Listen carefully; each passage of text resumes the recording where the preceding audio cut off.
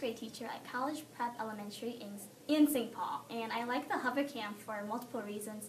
The first reason is I like to show pictures and words in my classroom, and I no longer have to worry about enlarging it or making copies, so that saves me time. I also like the Hovercam because I don't have to make transparencies and waste. That's I think that's just a waste of um, materials.